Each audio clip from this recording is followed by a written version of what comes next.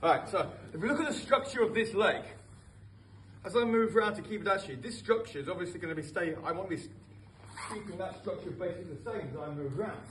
But I can't just move this round. Obviously, I have to move it. It has to have that feeling of in, and then the hip throwing it out. So I'm trying to get the mechanics of a fast turn and a leg back moving. And we did this the other week in the combination here, and, and that, that's sort of thing. The other tricks are how fast can you get your head round? Because again, the faster your head will go, your body will definitely follow. The temptation is to leave your head and move it fast because it feels nice. But the trick is to move your head really fast and your hip will follow to get you there. Then I step over and then reach and grow. So I reach and then I grow back on the edge.